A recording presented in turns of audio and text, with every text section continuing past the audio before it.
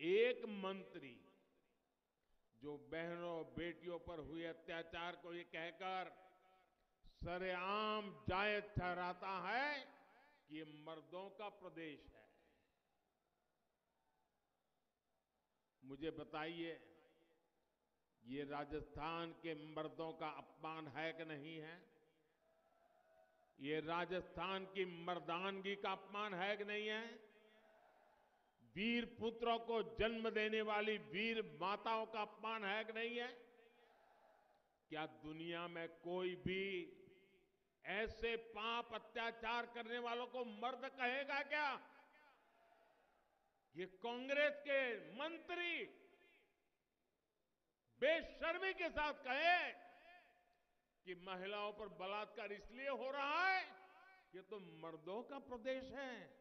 अरे मर्द कभी ये पाप नहीं करते, वो तो बेटियों के चरित्र की रक्षा के लिए अपना सर कटवा देते हैं, मर्द जीवन खपा देते हैं।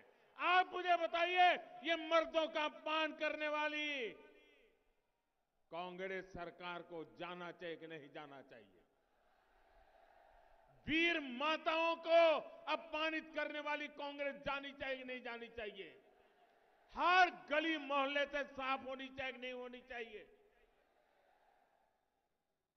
कायदे से तो उसको उसी दिन मंत्रिमंडल से बाहर कर देना चाहिए था। लेकिन उसका मंत्री पद भी सुरक्षित रहा और बड़ी बेशर्मी के साथ उसे चुनाव का टिकट भी दे दिया गया।